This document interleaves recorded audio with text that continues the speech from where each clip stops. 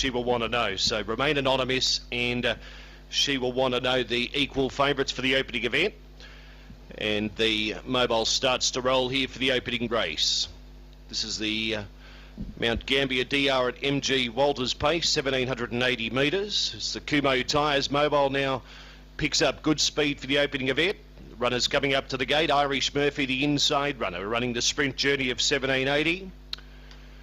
Just about ready to run here. First race today. Runners are all on gate. We're just about ready. Set.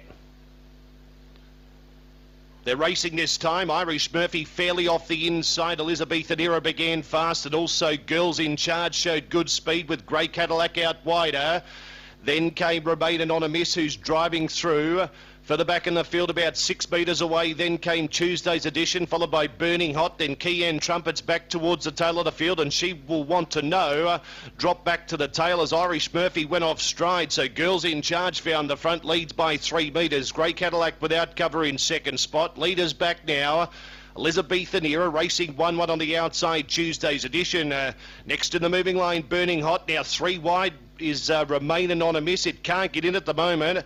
Then further back in the field, Keayang Trumpet racing on the inside of She Will Wantano. Last of all is Irish Murphy as Remain Anonamiss drifts back towards the tail of the field. Uh, up towards the bend they come here. The leading the way, it's Girls in Charge. Leads by three metres. Grey Cadillac racing second without cover. Elizabethan Era leaders back third. Tuesday's edition gets a beautiful position one by one. Uh, next in the moving line, then came further back Burning Hot. It races on the outside of Keayang Trumpet. Then came further back, She Will Wantano. Remain Anonamiss is back towards the tail of the field as they swing out of the straight. And Irish Murphy's over on the inside. Uh, they swing into the back straight here and leading the way the inside girls in charge from the outside. Grey Cadillac now coming up three wide as She Will Wantano. Then Elizabethan era the, on the inside in the centre. Then came Tuesday's edition, three wide with cover coming into it.